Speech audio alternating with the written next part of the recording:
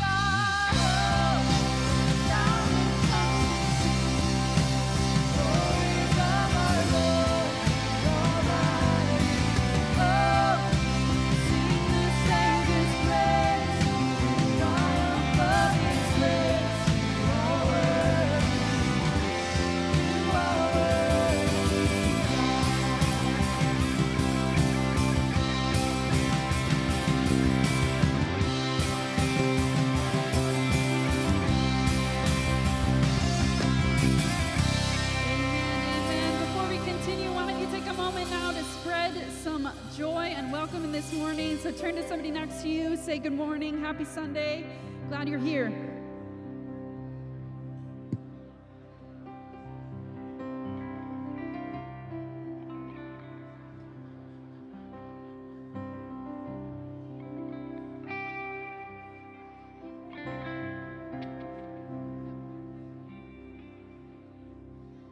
All right, as we continue, we're going to continue singing. You can stand up. We're going to sing a song that we taught last week. Um, it just talks about how we've seen God's faithfulness, and so therefore we believe that He will continue to be faithful. So let's sing this together.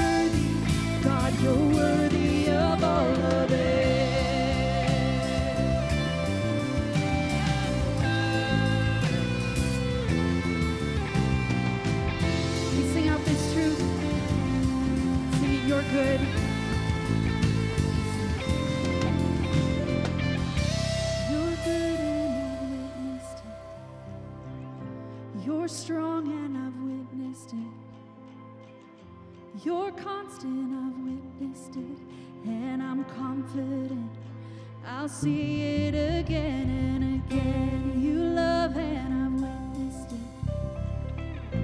You heal, and I've witnessed it.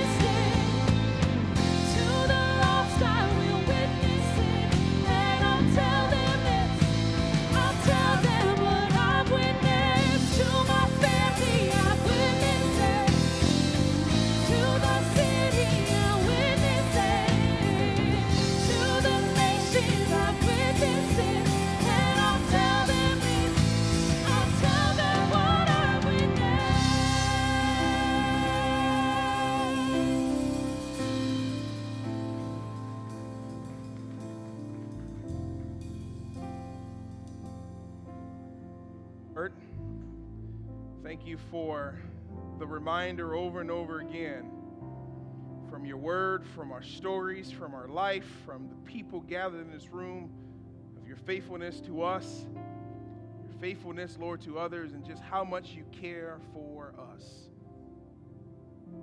Lord, we are thankful. And so, Lord, today I pray you fix our eyes and our hearts upon you we see all that you have done and all that you are doing be for our good and for your glory, even in the toughest times, even in the valley lows, on the mountaintop as well, Lord. May we see and be reminded of your faithfulness and your love to us. And may we share that with others. I pray that in Jesus' holy name, amen. Amen. You may be seated. Good morning. I, I want to share with you a couple things before we move on in the service, and I'm to have Pastor Scott come up and uh, join us in prayer. Uh, this is the hard part of pastoring, uh, of what you experience with people who become in your congregation like family. Uh, early this morning, I received a call from a member within our church, uh, the Decker family, and the passing of Mark Decker in the middle of the night.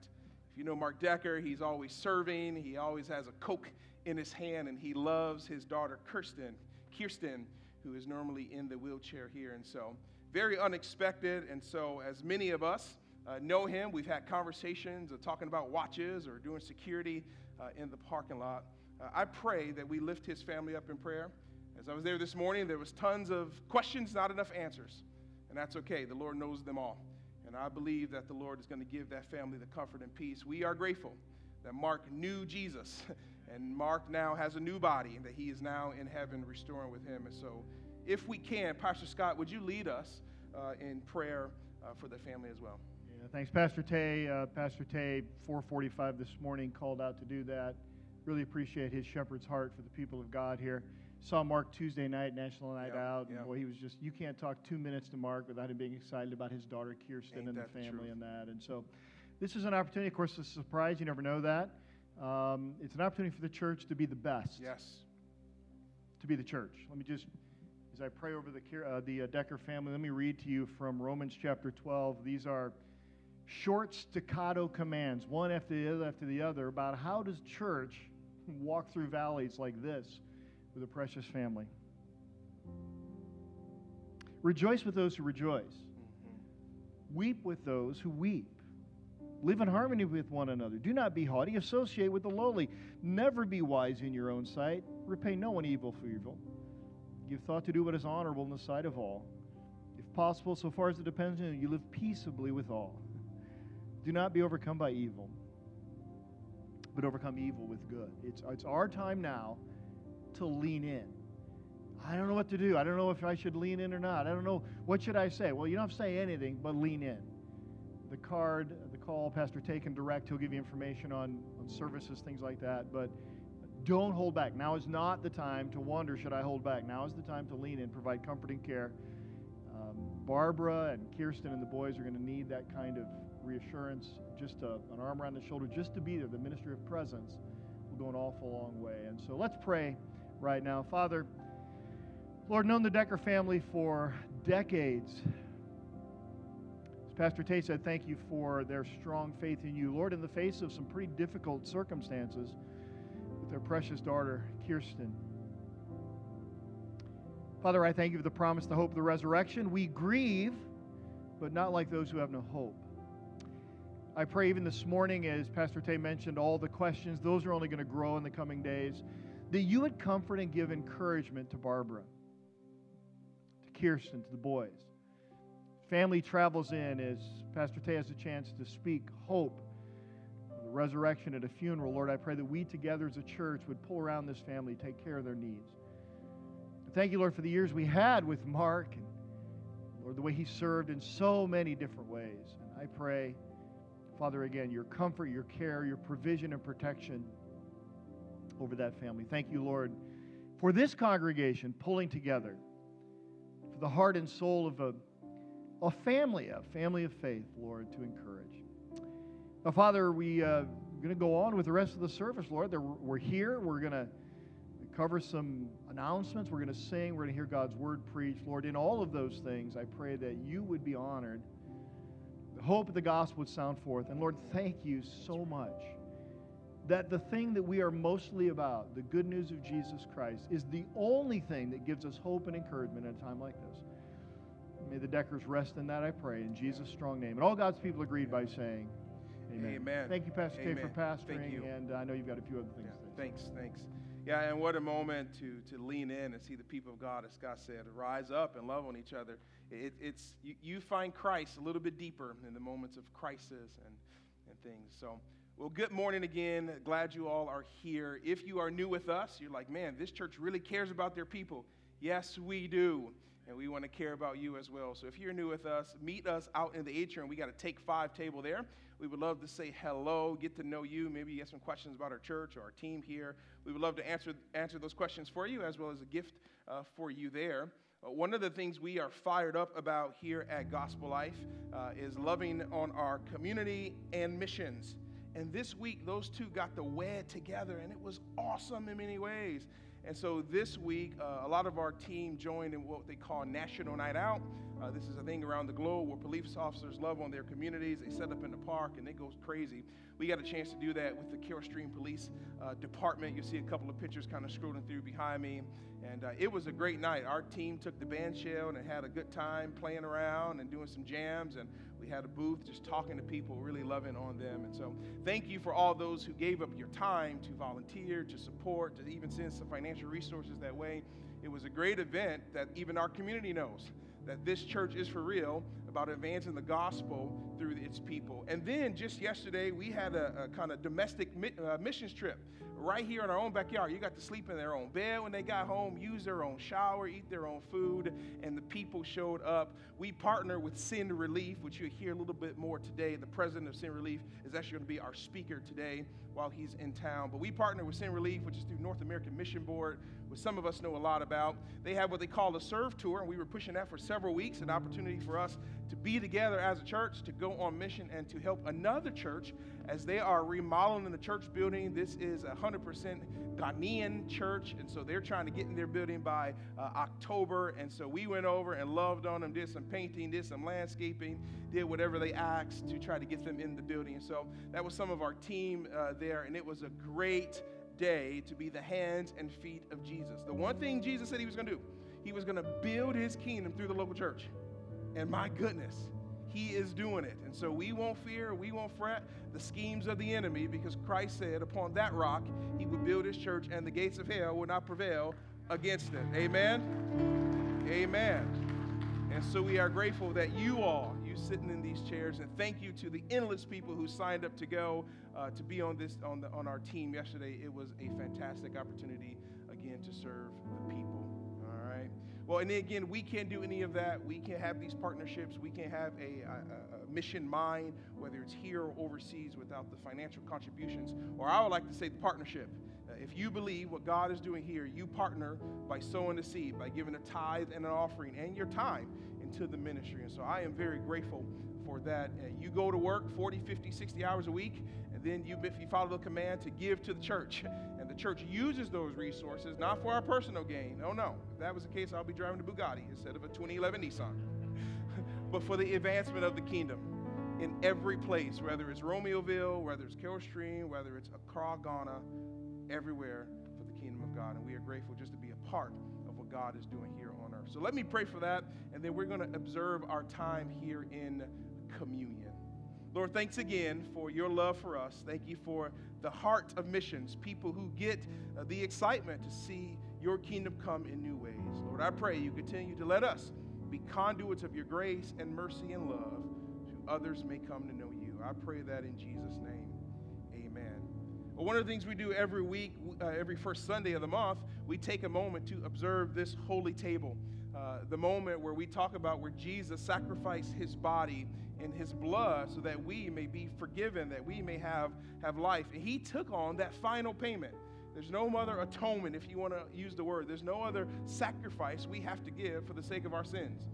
Jesus, once and for all, finally completed that upon the cross. And so today we want to observe that as his believers, as his, his children. And so, as we do every week, I'm going to uh, ask us to stand in just a minute. And how it works for us, we're going to stand. We're going to exit the back rows. You're going to come down the center aisle. You're going to grab your elements. All of the bread here in these trays are gluten free. We do have some of the packages as well. You're going to get your element, and would you just hold it until you get to your seat? Let me read a little bit here from 1 Corinthians 11, and I'm reading today from the CSB uh, version. Just this command uh, uh, of the communion. 11:23 For I received from the Lord what is also passed on to you. And on the night when he was betrayed, the Lord took the bread and he broke it. And he given thanks and he said, "This is my body which is for you. Do this in remembrance of me." And in the same way, he took the cup after supper and said, "This cup is the new covenant in my blood. Do this as often as you drink it in remembrance of me." For who also eat of this bread and drink of this cup, you proclaim the Lord's death until he comes. What a powerful reminder that this, these holy, powerful symbols and sacraments, was for you. That we may be free once and for all. And that someday, when he calls us home, we'll rejoice and have the greatest meal with our Savior because you took that step to believe in. So, one of the things here, Gospelife, you do not have to be a member to take communion with us. The only request is that you are saved and you have a relationship with Jesus. And if that's someone in the room today and you are not saved and don't know Jesus, I would love to have the conversation with you uh, after service to, so you can hear of that marvelous grace and mercy. All right? Let's do this together. Would you stand with me? If you're serving, why don't you come up front? The gishes and the crosses. Our band is going to sing under us. You can start from the back, come right down the center aisles, get your elements and hold them, and we will partake of them together.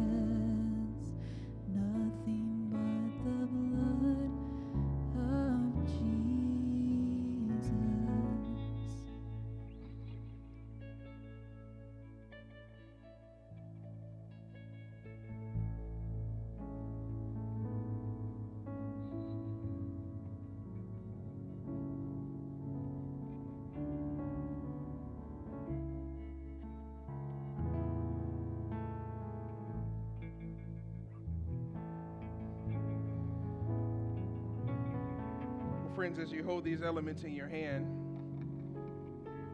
two moments we do in communion is we remember and we celebrate. We remember the fact that that death on the cross bore us our freedom and the hope that we have forever. And we also celebrate the fact that those who know Jesus will do just as it said in Corinthians, we will proclaim his death until he comes. And what a moment where all of God's children will someday be together worshiping at his throne and feet. So I'll pray over this bread. Pastor Scott will pray over the cup, and we'll partake our elements together. Would you bow with me? Lord, again, thank you for the everlasting hope we have in Christ, our Savior, Jesus Christ. For there is no other name under heaven and earth, Lord, that saves, has taken away the, the curse of our sin and the penalty of our sin, who has washed us clean gift for those who believe. Lord, thank you for that sacrifice. As the scripture says, Lord, you sent your son who you loved down to this world that he would love us so that all who believes will not perish but have everlasting life. We remember that night where he was betrayed and beaten. And he died and he bled, but he rose again victoriously with power in his hands. We are thankful for that victory death, for the grave, for the schemes of the enemy. Our victor's Christ has risen. Lord, we thank you for this time, and we partake of this in remembrance of him. Let us eat together.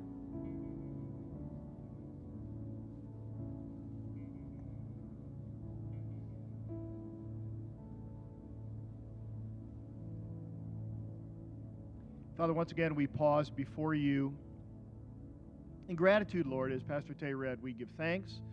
We also proclaim, Lord, these symbols remind us of this, the very heart of our faith. Thank you for the simplicity of the gospel. Not about what we do, but what about Jesus has done. We believe that.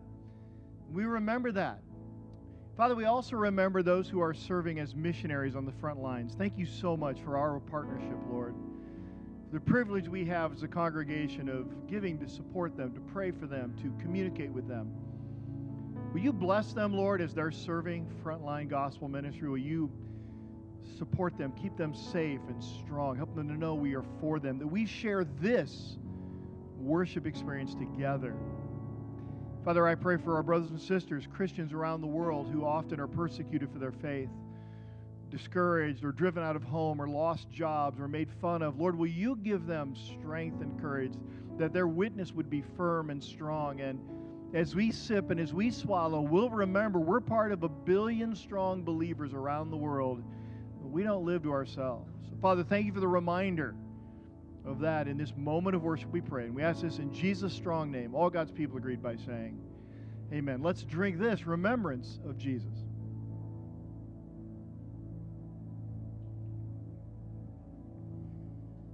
Amen. Why don't we stand as we sing together?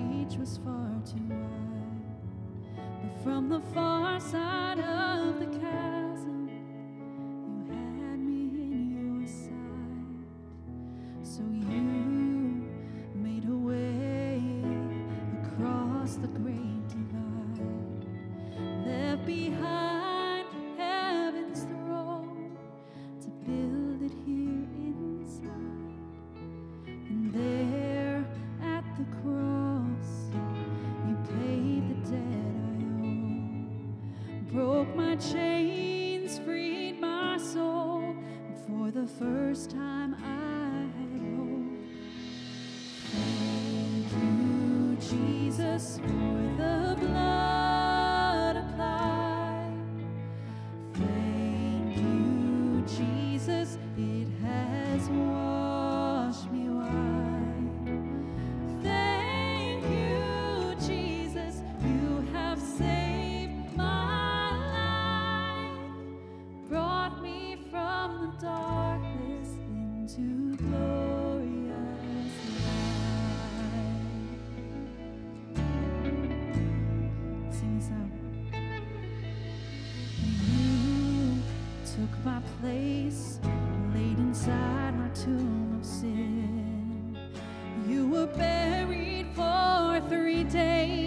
But then he walked right out again. And now death has no sting.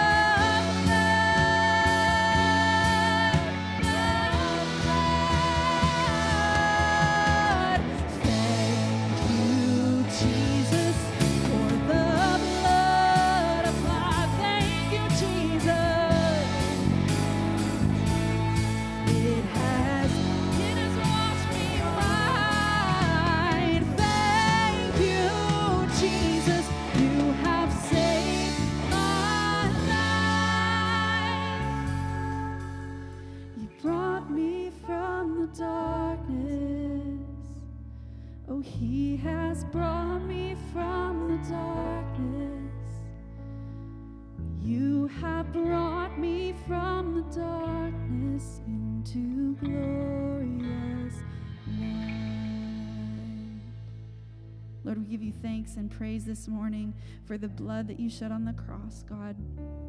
We thank you, Lord, for the ways that you are faithful to us in years past, in times present, Lord, and in the future.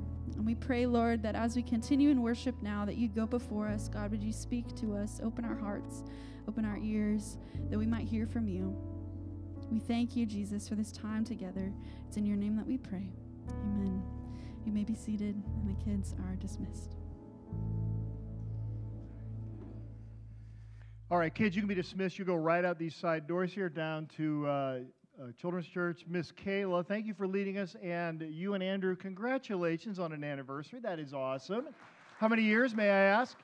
Six years. So you were like nine when you got married or something? So, uh, one of the things you may know, you may recognize as a congregation, thank you for that, Bill. Um, we uh, try and model generosity, including 10% of all that we receive, we put, uh, put aside for missions. And uh, one of our missions partners, we have multiples, is Send Network. The Send Network plants churches all around the United States. As a matter of fact, it's the uh, largest church planting organization in the United States or in North America. One of the other partners we have, Send Relief, which is a way that we can help serve when it comes to compassion ministries. And so this morning, it really is our privilege to have the president of Send Relief preaching for us this morning. But what I love about uh, Pastor Bryant Wright is, uh, as we were talking about it, he said, Listen, when you introduce me, let him know I'm a pastor. And so 38 years he uh, uh, planted, he founded, and he pastored Johnson's Ferry Baptist Church outside of Atlanta, Georgia, Marietta. Uh, he also has a media ministry, Right from the Heart, or Straight from, is it Right or Straight from? I keep getting mixed right up. from the heart. Right from the Heart Ministries. And so I was uh, watching, uh, he was back at Johnson Ferry preaching back in early July. I watched that message, and listen, I love his heart for the next generation, as our church has. So he has a deep commitment to see the next generation of young men and women rise up and shake this world for the power of Jesus Christ. So, Pastor Wright, will you come up and preach to us? So glad to welcome. Let's give him a Gospelife welcome. Thank you. God bless you. And uh, just just like this is your home, all right? You just like you own the place, all right? All right, good. Thank you so much, Scott. And I want to thank you for the opportunity to be here, not only to share the Word of God, but represent Send Relief and urge you to listen carefully. I know you may struggle with my Manhattan accent that uh, is hard for you to follow, so listen carefully today. But let me just share a little bit about Send Relief. Three and a half years ago, this did not exist. But three and a half years ago, in March of 2020, the very week that COVID shut down the whole world, Send Relief began. And to give you a little background, we're all about meeting needs and seeing God change lives. And the mission of Send Relief is to serve churches like yours as you're seeking to carry out the Great Commission of carrying the gospel to the whole world through ministries of compassion, because we believe that ministries of compassion both show the love of Christ and open doors for sharing the gospel of Christ. We have five major areas we focus in. One is strengthening communities, and this very weekend has been the Serve Tour in Chicagoland. 76 churches came together with service projects all over this metro area this weekend and working with local churches here in Chicago with those service projects so that when all these teams of volunteers have come in and gone, these churches in these communities have better won the right to be heard in sharing the good news of Christ. A big part of strengthening communities is global hunger relief in third world nations, building wells in third world nations where there's no clean water, all kind of projects to open doors like that. Secondly, is ministry to refugees. And the largest undertaking that we have done in ministry in our first three and a half years is ministry to Ukrainian refugees. Over 7 million Ukrainian refugees, overwhelmingly women and children, because the men are staying to defend their land, and the needs have been overwhelming. And we work through churches, Eastern European churches, right there on the border of Ukraine, as these refugees have come across by providing all kinds of food, health, hygiene, supplies, different needs that are there in order to share the good news of Jesus Christ. Thirdly, is ministry to children and families. And we're very thankful that the Supreme Court overruled Roe versus Wade in a way that's going to save hundreds of thousands of lives. But understand this now the church has to decide if we're going to step up to the plate. Because what happened in the past with hundreds of thousands of unwanted lives in the womb are now going to be hundreds of thousands of unwanted lives outside the womb. And the need in foster care and adoption is going to skyrocket in the days ahead. And is the church going to step up to the plate and show the love of Christ to these children in need of families and homes? And Send Relief does all kind of training assistance to help churches begin to have ministries in this area. Third is fourth is battling human trafficking, probably the most heinous evil in our world today, and rescuing as many of these young children, mostly young girls, that get trapped in a modern form of slavery today that is just so detestable to God. And fourth is assisting disaster relief teams. Our convention of churches, like the Illinois Convention, has a disaster relief volunteer team. And when tornadoes, hurricanes, floods occur, they go in to help. And Send Relief has a huge warehouse in Kentucky. We send our trucks out with all kind of food supplies, roofing materials, whatever is needed with these disaster relief teams to go in after a crisis and share the love of Christ in a very real way. But I hope you'll hear this. I have a nightmare that one day Send Relief can become just another humanitarian organization. We are not. You see, I remind our staff that we can care and minister to hurting people on their journey to hell and miss the greatest need in their life. And that is salvation in Jesus Christ that comes through the gospel. We are most of all a gospel ministry that is seeking to live out the great commandment of Jesus in a way that churches can better fulfill his great commission. And what's so exciting with Send Relief all of us, I'm a part of the International Mission Board staff. Many of our staff are part of the North American Mission Board staff. But all of us, because our personnel costs, our operating costs are covered out of the mission organizations of the International Mission Board and North American Mission Board, 100% of gifts to Send Relief go to actual ministry. There are not many ministries can make a statement like that.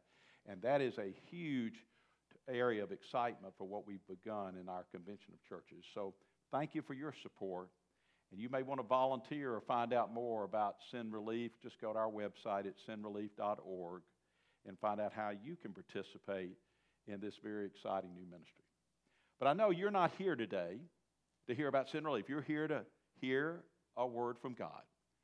And in light of Pastor Scott's series, Blueprint, dealing with the key doctrines of our faith, today we're going to look at doctrine number two that really flows perfectly out of, what, out of what he's already covered with you on the creation.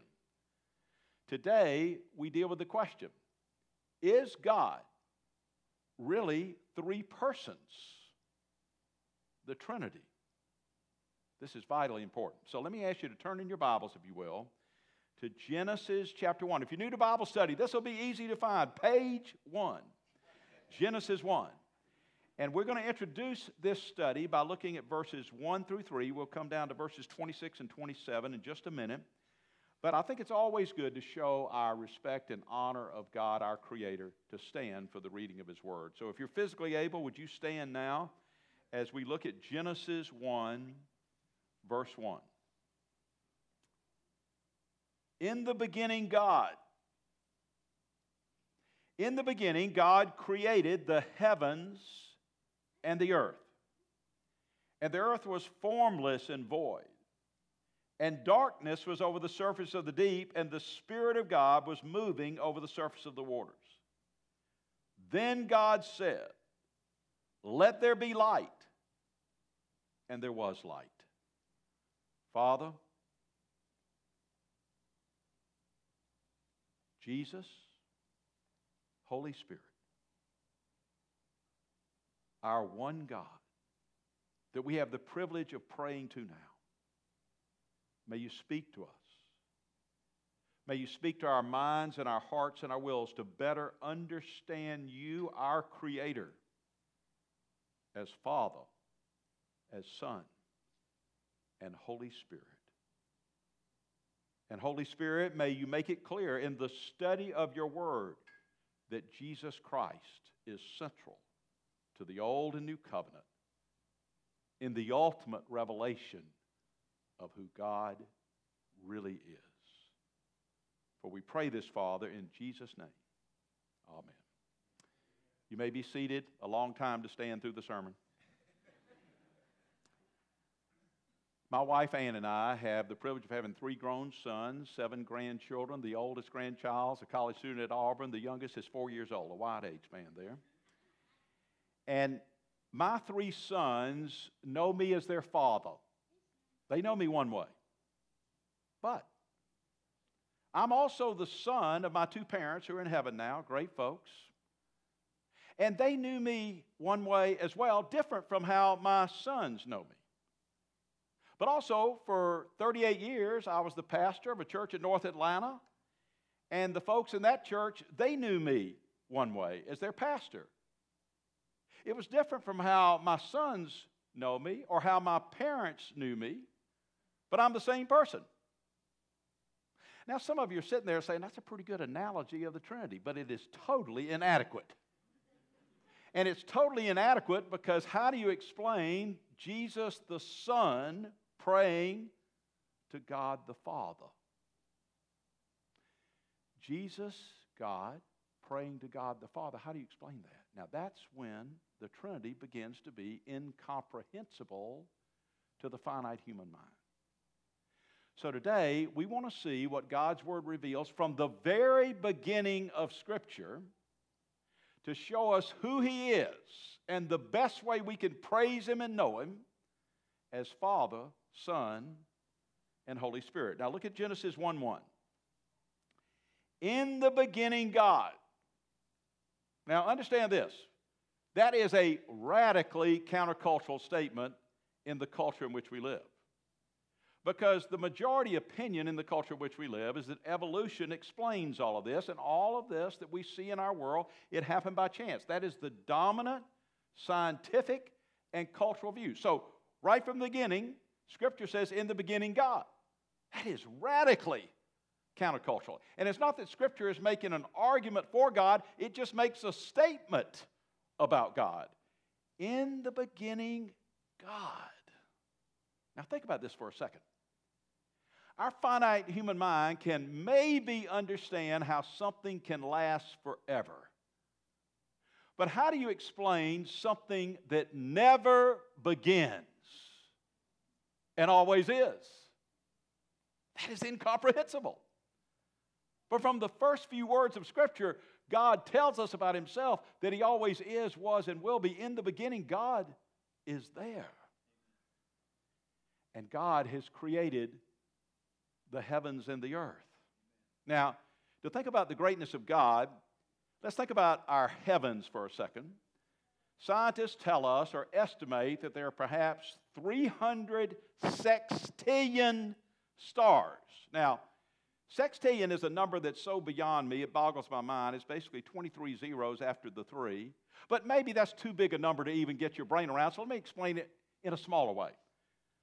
One galaxy, the Milky Way, our galaxy, one of hundreds of thousands of galaxies, is a hundred thousand light years across. Just our one galaxy.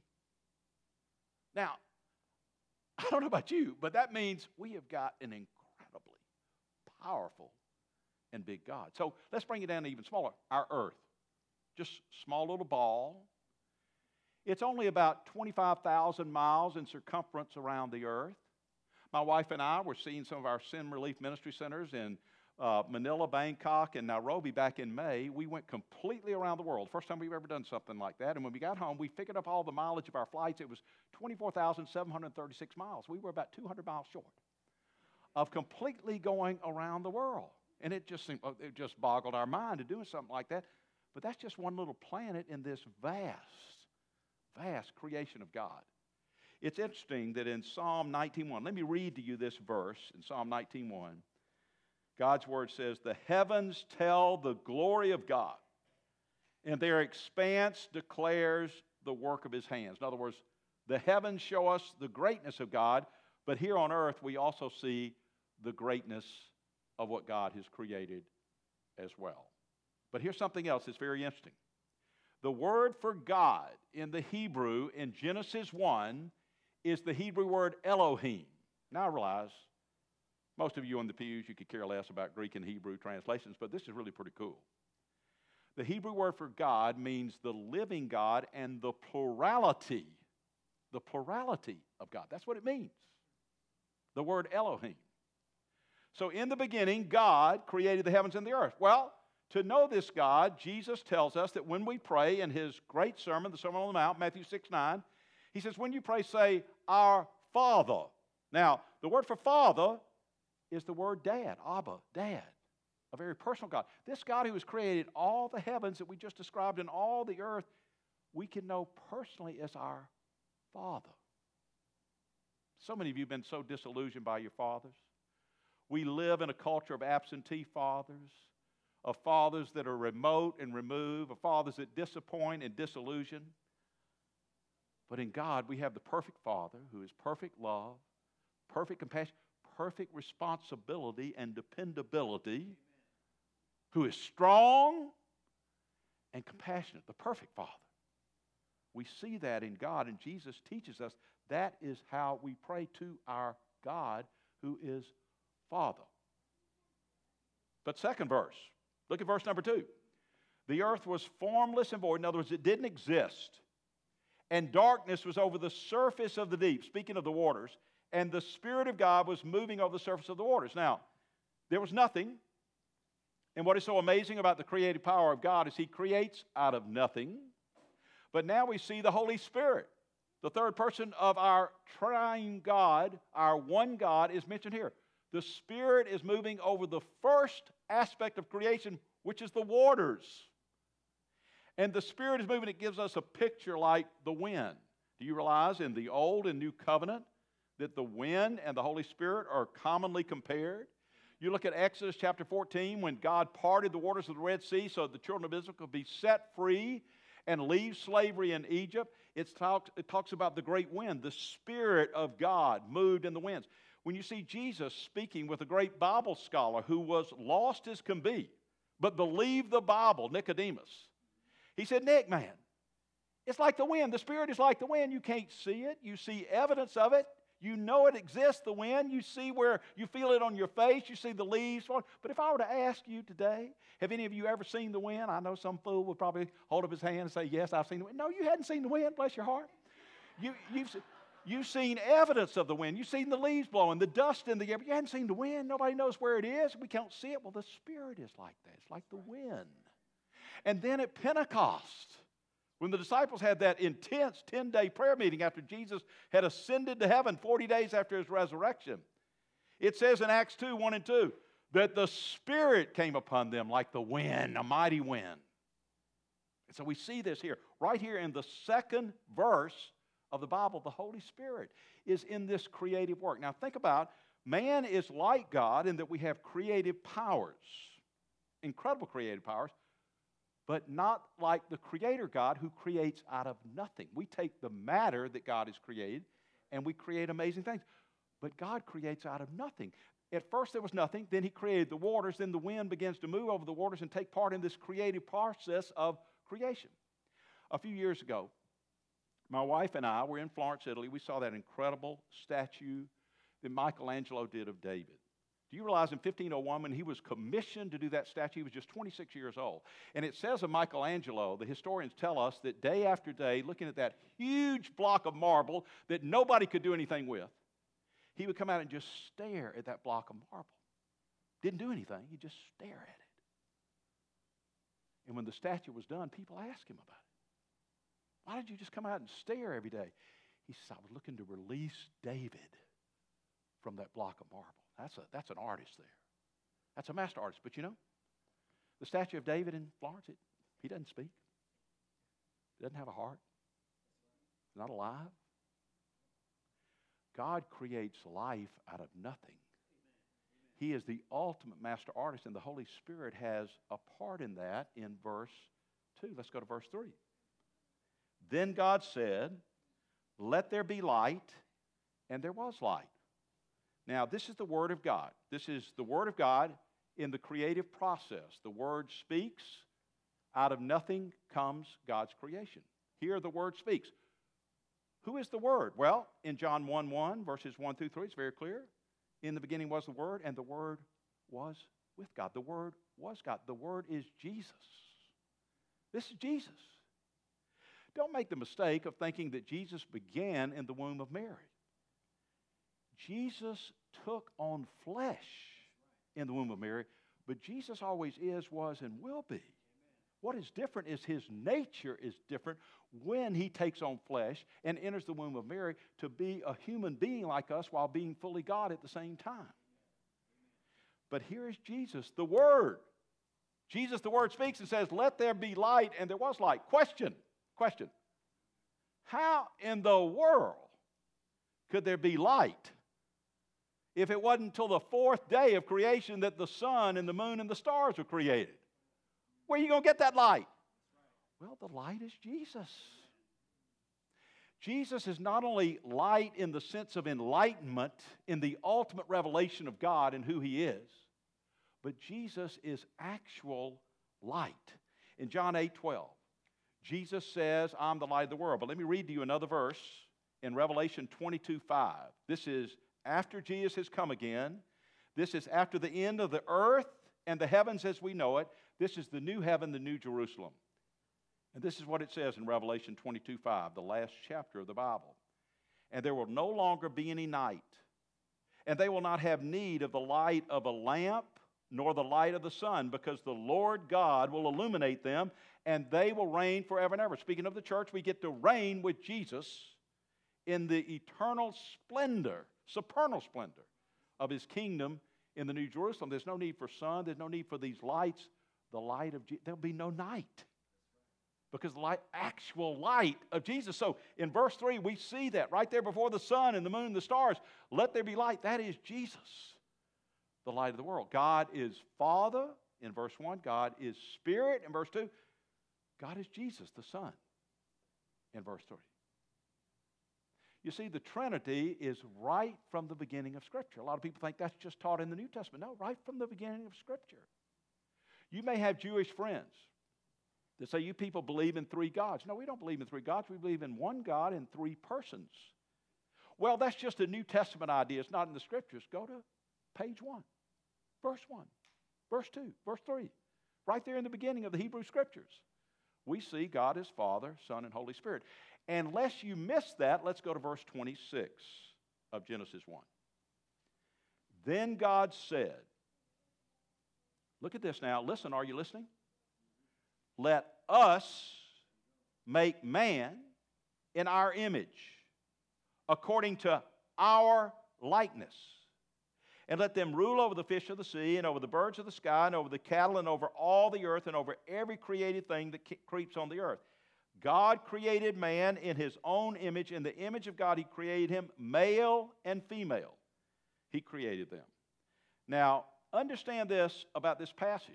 We see the Hebrew word for God, Elohim, which means the living God and the plurality of God, and now being expressed as let us. Some say, well, that's just the angels. Look, we're not created in the image of angels, we are created in the image of God. Let us make man in our image. That is God the Father, God the Son, God the Holy Spirit. Right there in the beginning of the creative process. Now, question What does it mean to be made in the image of God? That means to be in the likeness of God. In other words, we are not God. We are in no way close to the incomparable greatness of God. But we are like God. How are we like God? We're like God in that we can think and reason. We are like God in that we can create. We talked about Michelangelo, incredible creative master artist. We can create like God, but not as great as God who creates out of nothing. It's also an understanding that man likes communication. God is the Word, the ultimate communicator and we communicate like God. But we also know that man is a moral being. Now, I've heard a lot of people in the church, maybe some of you have made this statement where you say, you know, in America today, people have no morals today. They don't care about any morals. Bless your heart, that's the most ignorant statement you could ever make. I mean, I, I, don't, I don't mean to offend you in making such a dumb statement, but the fact is, all, all men and women everywhere care about morality. It may not be your morality, it may not be God's morality, but if you don't believe it, just look how the ideology of wokeness and political correctness today, if you don't believe they're passionate about values, you don't have your eyes open. They're passionate about moral values. And if you don't believe it, just ignore one of their moral boundaries and see the shame and the way you'll be cut out of culture today because man has a moral conscience. The question is will that moral conscience be God's morality or will it be what you feel is best in your own eyes? You see, man is like God in all these ways, but one other way man is relational. And God speaks in his creation of male and female, men and women equal before God. Now, in the body of Christ, as taught in the scriptures, there will be differing roles where the man is to be the leader in the home, where the man is to be the elders in the church, but men and women are equal before God and have equal responsibility before God in using the gifts and ability God has given you for the glory of God. We are male and female in the image of God. And the ultimate relationship that God has invented is the marriage relationship, where one man and one woman are to come together in commitment of love for life. And yet, all kind of disharmony has resulted. And so much of the disillusionment of this world has to do with brokenness in human relationships. Many of you are experiencing that now or have experienced that in the past. All kind of brokenness. You see, in the Trinity, now listen, are you listening? Don't miss this. In the Trinity, God the Father, God the Son, God the Holy Spirit is the perfect, harmonious relationship. Complete oneness. No dissension. One of the misguided notions that's in liberal theology in the churches in America today, a lot of Protestant churches in America today, is people say in their new morality, they say embracing the sexual revolution, that this is just an enlightened spirit of God guiding us. Don't kid yourself. The Holy Spirit never leads us to do something contrary to the Word of God. The Holy Spirit convicts us that the Word of God is truth in revealing to us ultimate truth in Jesus. But don't make the confused mindset of saying the Spirit has enlightened us with a new understanding when it's complete opposite of the Word of God. God the Father, God the Son, God the Holy Spirit, complete harmony complete oneness.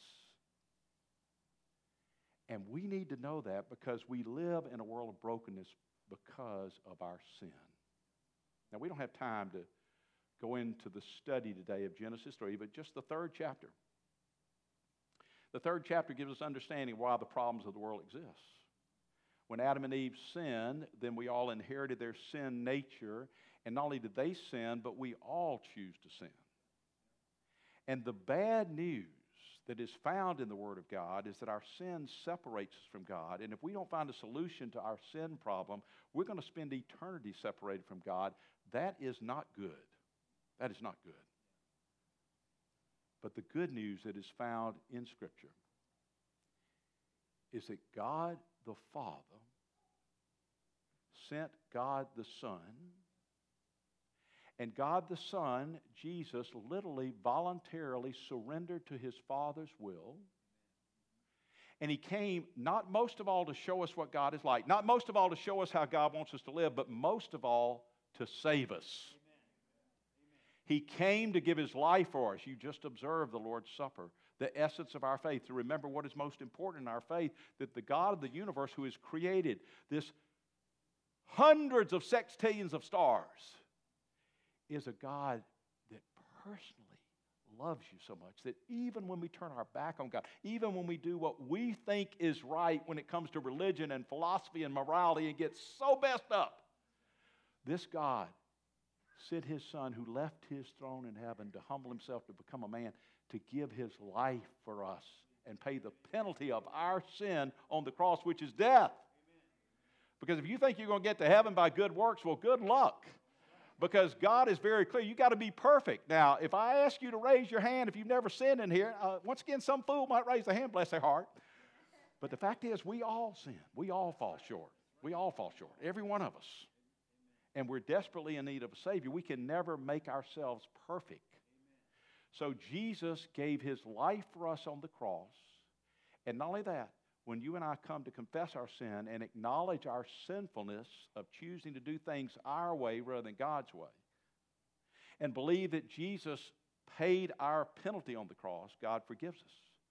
And He makes us right with Him. Not because we deserve to be, but because of what He has done for us on the cross. But the good news gets even better. He conquered sin and death through His resurrection. So that when you and I come to trust Him, our physical bodies will give out one day but our soul lives on with the Lord, and one day, shortly before Jesus' second coming, He's going to come for His church again, and He's going to give us new resurrected bodies that are like His, that never get sick, that never get wrinkled, that never have the sags of old age, but a new body that never gets dead. And it's going to be glorious. And you don't want to miss out on that great gift. But it gets even better. When we come to trust Christ, and give our heart and life to Christ, we're not only forgiven of sin and made right with God, we not only receive the gift of victory over death, but we receive God the Holy Spirit in our hearts and lives. Because you see, we're so sinful and so selfish, we, we can't live the life that God has designed for us that is the best kind of life, the most meaningful life, the most fulfilling life. But with the Holy Spirit, we're empowered with an inner want to to trust Christ and to follow His Word, knowing that He has created us and knows how life works best. It's a beautiful thing. Amen. God the Father, the perfect Father, not a Father that disappoints and disillusions, a loving Father, a strong Father, a responsible Father, a dependable Father, but also Jesus, the Son, that shows us the incredible love of God, the ultimate sacrifice He has made, so that you and I can be in right relationship with our Heavenly Father, and then empowered by the Holy Spirit to follow Christ. And in the process, the Holy Spirit entered the church at Pentecost and the Holy Spirit enters the life of anyone who comes to trusting faith in Christ. And the Holy Spirit empowers us not only to follow Jesus, but to fulfill his mission of taking the good news of the gospel to every person on the face of the earth. I shared with you a little earlier about the Ukrainian refugees being the largest ministry Send Relief has undertaken. Let me just tell you about one human story. We've ministered to hundreds of thousands of those refugees. But Natasha came to one of those churches that was receiving all these resources to help them through a desperate time in that awful war in Ukraine. She was Orthodox, so she knew of God, she knew of Jesus. She had been in a church occasionally on a funeral or a wedding, but she didn't really know Jesus. But by seeing the love of the body of Christ there that was ministering to her in a time when she had lost everything, she wanted to have what those people had. And she came to personally trust Christ as her Lord and Savior and began that personal relationship with the Lord like many of you. You see, the Holy Spirit empowers us, the church, Amen. to carry out the mission of God the Son, Jesus, so that we can personally live forever with God the Father, God the Son, God the Holy Spirit. Is our God three persons in one? Absolutely.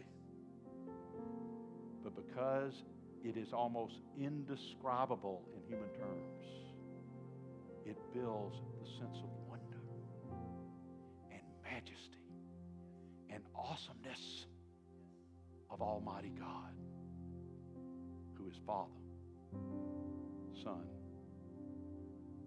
Holy Spirit. May we worship him. May we believe in him. May we follow him. Let's pray. Father God, thank you for loving us so much to send us God the Son, Jesus, to save us from our sins. And for those of us who have responded with a decision of faith to trust Christ as our Savior and Lord, thank you for giving us God the Holy Spirit to dwell within us, to seal our faith as you describe, and to empower us and give us that inner want to keep trusting you through Christ to follow and to fulfill the mission for your church. Oh, Father, thank you for how awesome you are. And Father, if there are individuals here today that don't really know you personally, but perhaps the Holy Spirit, through the preaching of the Word, has just helped them to realize this is truth. I can't quite understand it, but I know this is the ultimate truth. And I'm going to choose to believe it. May this be the day, the turning point in that person's life. They stop believing that they're going to live in the way they feel is best and desire now to follow Jesus and live in a way that you teach us in your word. Oh Lord, may it be. We pray this prayer in Jesus' name. Amen.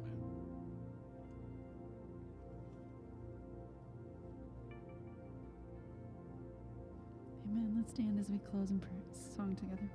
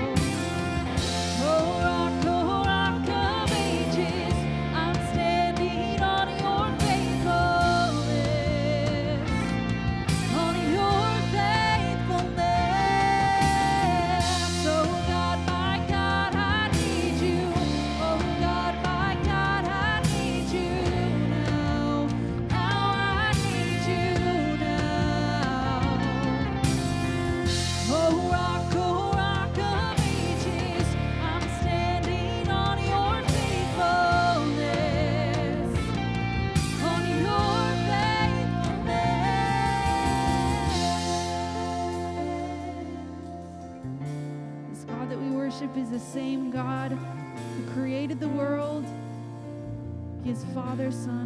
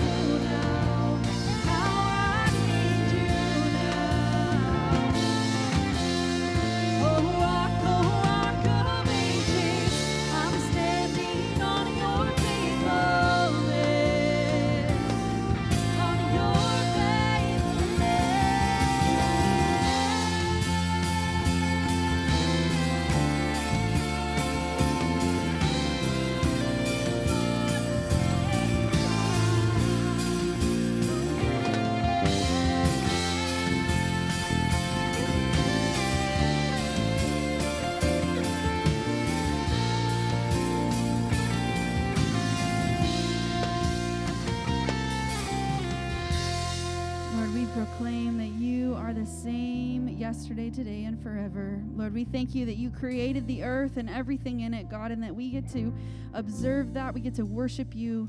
And so now, as we go from this place, Lord, we pray that we might go in your spirit, we might walk in faith, um, and we might proclaim your name in this world. And it's in your name that we pray all these things. Amen. Amen. Happy Sunday. Have a great week. We'll see you next week.